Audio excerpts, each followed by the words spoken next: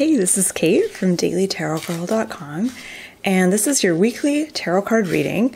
And I'm really excited to read with this deck. This is a new deck that I just picked up a few days ago. It's called Tarot of the Abyss by Ana Tourian, and it is a really cool deck. I've done a few readings with it already, and I have just fallen in love with it and I have quite a few unboxing videos planned, but I'm definitely going to include this one. All right, so I'm going to begin by drawing three cards. Each card is going to represent a portion of the upcoming week. And my intention is the same as always, just to get some fresh ideas, inspiration, and insights into the week ahead. All right, so let's begin with the first card. This card is going to represent Monday and Tuesday of the upcoming week. And if you enjoy this video, I post them every week, usually on a Friday or a Saturday. So um, give me a like and a subscribe if you want to see more videos like this. All right, so here we have the Page of Pentacles for the beginning of the week. So Monday and Tuesday, we have the Page of Pentacles. And I'm just looking at this card. I haven't seen this card yet in a reading. Um, looks like he's unearthing something and he's holding a key. Or let's have a look. Let's let's look a little bit closer here. Yeah, he's got a key and looks like he's discovering something and there's a guy in the background. So, Page of Pentacles, pages are um, Pages are like the students of the tarot. They're in learning mode. They're figuring things out. And the suit of pentacles is the most physical suit. This has to do with the physical dimension of our day to day lives. So, things to do with the physical body and physical health, things to do with money, finances, the physical things you own, your home, your physical surroundings, all of that stuff. And it also has to do with getting grounded and really grounding your energy in three-dimensional reality as well as as other other dimensions like the emotional dimension and the spiritual dimension. So what does this card mean for us at the beginning of the week? I feel like this is like a surprise card. I feel like there's something that many of us will be discovering something delightful to be discovered this week. Whether it happens at the beginning of the week or later on in the week, I don't know. For some of us, it might be the beginning of the week, for some of us later on, but there's some kind of discovery that we make. Uh, I don't think it's anything major, but it's it's kind of like a, a mini aha moment, um, and it feels really good. I think that this week, particularly in the beginning of the week, be patient with yourself. Um, you're really learning how to how to ground your energy. You're learning how to take care of your physical environment and your your physical body. This is a good time to uh, beginning of the week is a good time to check in with your body, see how you're feeling, and ask, you know, what does my body need right now? How can I take care of my body uh, this week? What kinds of needs do I have, etc., etc. I feel like there's so much more to this card that I could go into. Uh, but nothing else is coming to me. So I'm gonna, I'll leave it to you. Uh, if you have other ideas about this card, feel free to share in the comment section. Um, ah, yeah, I feel like one more thing I want to add about this card.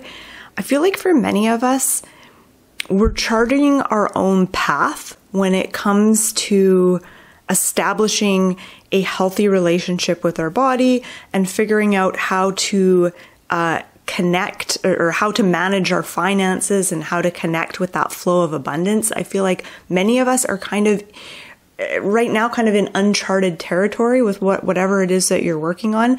And so it might feel a little ungrounding if you don't have a specific plan or a path forward. And if you can't look at anyone in your life and be like oh this is how this person did it. I'm going to follow this path. It's kind of like we're sort of charting our own course right now when it comes to uh, the physical realm. Let's look at the second card. This is the card for the middle of the week, so Wednesday and Thursday ish. Ooh, Ace of Swords. All right, beautiful. Okay, so we're moving right from the, the realm of pentacles into the world of swords, and swords have to do with the mind and the mental realm and the intellect, thoughts, beliefs, the way you think about things, the, the concepts that you hold in your mind, the stories that you tell yourself, the stories that you believe or don't believe. And the ace, because it's an ace, it symbolizes the beginning of this suit. It symbolizes new beginnings and a fresh start. And what I love about this card is her hair is like um, kind of the branches of a tree. And then there's things in those branches, which I think of as like thoughts and ideas and concepts and beliefs. And how you conceive of things, how you think about things, and the thoughts that you have determines how you ground and root down into the earth, how you root down into reality. So there's this link between your thoughts and your physical reality. And thoughts are so powerful. Beliefs are powerful. They shape how we see things, the decisions we make, the actions that we take. So beliefs are really powerful. And with the Ace of Swords, I see an opportunity to um, turn over a new leaf when it comes to the relationship you have with your mind and thoughts and beliefs. So now is a good time to um, think about, uh, you know, what what do you believe in? What kinds of thoughts are you thinking? And if you're wanting to turn over some new habits in regards to your thoughts and the the stories and the loops that you run through your mind, the middle of the week is a good time to do this. This is also a good time to act on your ideas, pay attention to your ideas. Don't just, because sometimes you get an idea for something, you're like, oh, okay, that's cool, and then you forget about it. Ace of Swords is like, no, you gotta be more, um, you, you gotta ground those ideas into the physical reality. So write it down. If you have a great idea for something, write it down. Doesn't mean you have to pursue it, but get it on the page. Um, okay, let's look at card number three. This is for the end of the week, so Friday, Saturday, Sunday. And here we have 10 of Cups. 10 of Cups is a beautiful, lovely card. And this card shows a woman, she's got a baby on her back, uh, she's holding someone's hand, there's a house in the distance. 10 of Cups represents peacefulness, love, connection, dreams coming true, just this feeling of having arrived. Um, on an emotional level. So this is about emotional fulfillment, feeling like your heart is full, feeling like you have everything you possibly could want on an emotional kind of level. So what does it mean for us? What is the message that this card has for us this week? The weekend or the end of the week is a time to reflect. Ten of it's interesting we have the ace of swords in the middle of the week, which is the beginning of a suit and then the Ten of Cups, which is the culmination of the, the Suit of Cups. And the Suit of Cups has to do with emotion and feeling and relationships and empathy and uh, all that kind of stuff. This is the, the feeling emotional realm. And the Ten of Cups asks us to, I think, really practice gratitude and acknowledging um, the connections that we have and the ways in which we feel emotionally fulfilled. Really acknowledging that.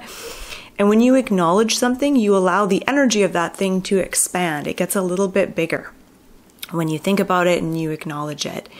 And I also feel like the Ten of Cups is a time for focusing on. For, for everyone, it's going to look a little bit different. For some of us, it's a time to focus on family and our connections with our family and spending time with family.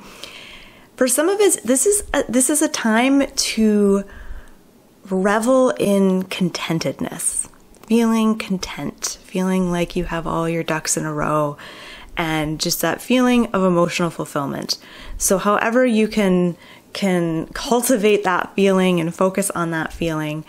Um, also, if you're feeling really unfulfilled emotionally, and this is where I'm going to pull in the wisdom of the Ace of Swords. If you're feeling unfulfilled right now and this card isn't really resonating with you, this weekend is a good time to write down, may, you know, journal about it. You know, what needs to happen in order for you to feel emotionally fulfilled?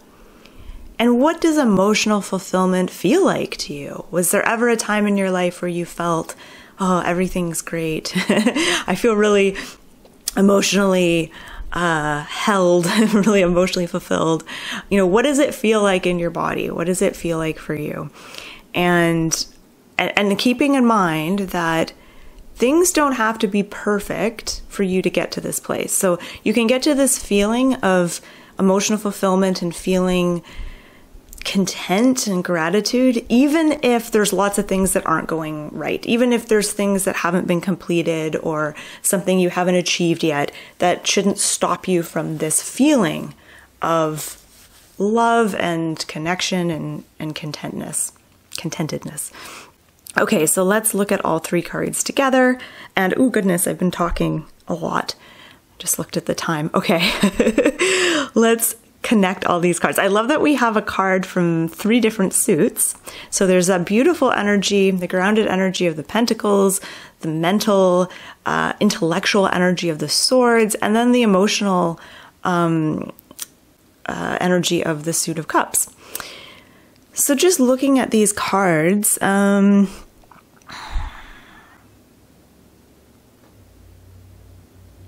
I'm noticing the thing I notice in all of them is what is rising up out of the earth. So we have a mountain in the background of the Page of Pentacles. I see that mountain as representing some sort of goal or something that you're wanting to tackle or achieve or overcome. And then with the Ace of Swords, we have her hair, which is the roots of the trees, which symbolizes reaching up into your mind, your thoughts, your intellect, the realm of inspiration and ideas.